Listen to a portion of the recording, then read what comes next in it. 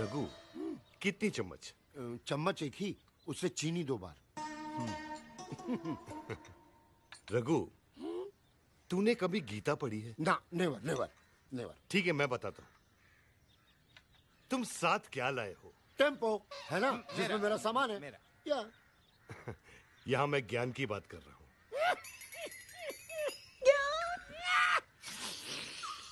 ठीक है रिपीट